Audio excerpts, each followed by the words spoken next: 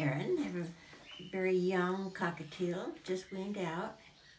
And uh, pretty, I don't know if it's a little girl or not, but oh, it's a birdie. You're actually pretty. Yes, you are. Yeah. You took a birdie. Yeah, you took a birdie. Oh, you're a good bird.